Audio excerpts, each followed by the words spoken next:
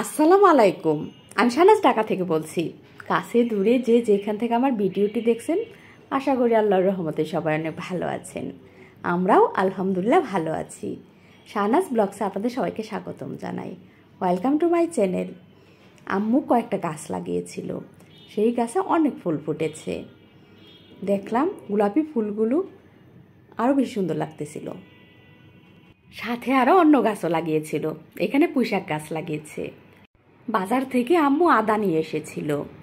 আদার খোসা ছাড়িয়ে তারপর ছোট ছোট করে টুকরা করে কেটে নিয়েছে। আমি এখন ব্লেন্ড করে দিচ্ছি। সব সময় আমাকে ব্লেন্ড করতে হয়।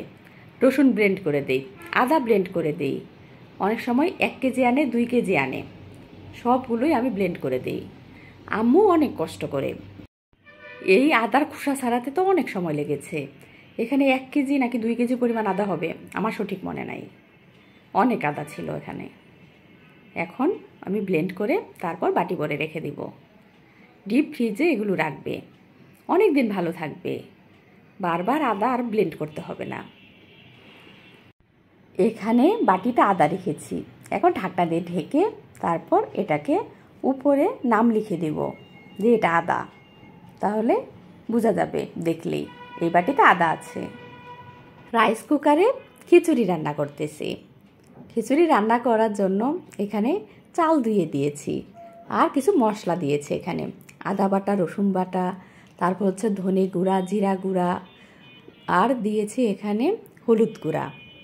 মরিচ গুঁড়া দিয়েছি অল্প করে। সাথে কাঁচামরিচ ফালি করেও দিয়েছি। আর এখানে দিয়েছি দারচিনি, এলাচ আর হচ্ছে তেজপাতা। লবণ দিয়েছি পরিমাণ মতো। এরপর সব কিছু একসাথে মিশিয়ে পরিমাণ মতো পানি দিয়ে রাইস কুকারে বসিয়ে দিয়েছি খিচুড়ি। খিচুড়িটা হওয়ার পর আমি দেখতেছিলাম খিচুড়িটা ভালো মতো হয়েছে কিনা।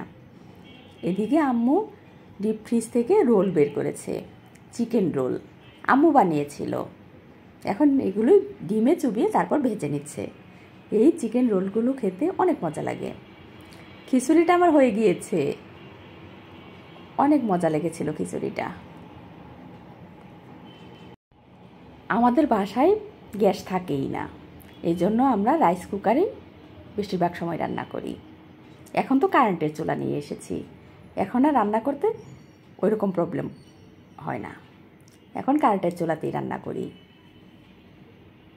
আম্মু চিকেন রোলগুলো ভেজে নিচ্ছে। এই চিকেন রোলগুলো বানানো অনেক সহজ। আপনাদের সাথে একদিন শেয়ার করব এরপর বানালে। বাসায় তরমুজ ছিল। তরমুজ কেটে নিয়েছি। আর সাথে শরবতও বানিয়েছি। আর এখানে দেখতে পাচ্ছেন খিচুড়ি। এক একটা খাবারের স্বাদ এক এক রকম। খাবারগুলো খেতে মজার ছিল। আমি আমার রুমটাকে অন্যভাবে আবার গুছিয়েছি। ওয়ার্ড্রোব যেখানে ছিল, সেখান থেকে আবার অন্য জায়গায় রেখেছি। খাট সরিয়ে নিয়েছি।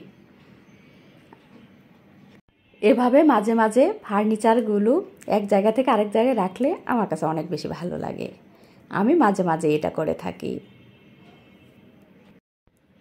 আমার রুমটা এত বেশি বড় না, এই জন্য ফার্নিচারও কম রেখেছি। আমার চ্যানেলটি যারা সাবস্ক্রাইব করেছেন, তাদেরকে অসংখ্য ধন্যবাদ জানাই। আর যারা এখন আমার চ্যানেলটি সাবস্ক্রাইব করেনি যদি ভালো লেগে থাকে, তাহলে অবশ্যই আমার চ্যানেলটি সাবস্ক্রাইব করবেন। আর পাশে থাকা বেল বাটনটি প্রেস করে দিবেন।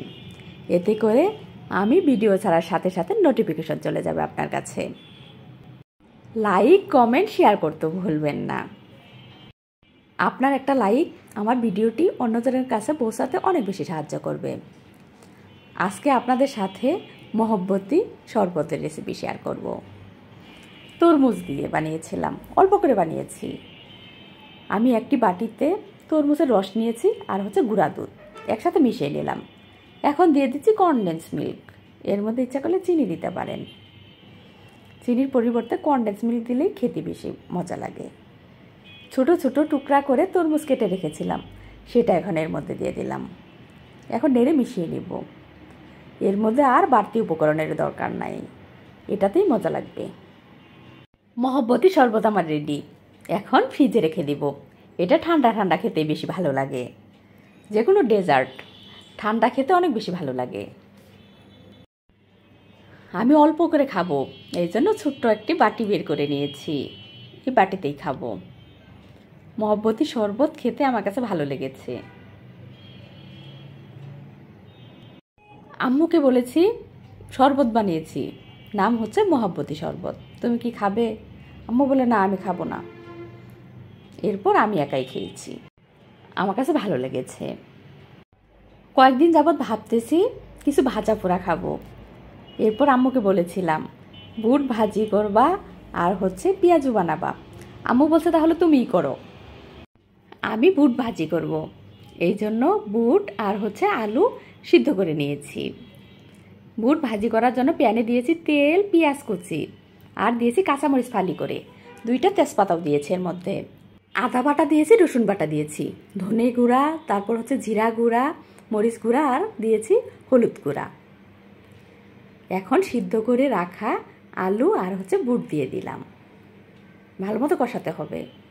এখানে পরিমাণ মতো লবণও দিয়েছি। কিছুক্ষণ কষিয়ে নিয়েছিলাম। এরপর অল্প করে পানি দিয়েছি।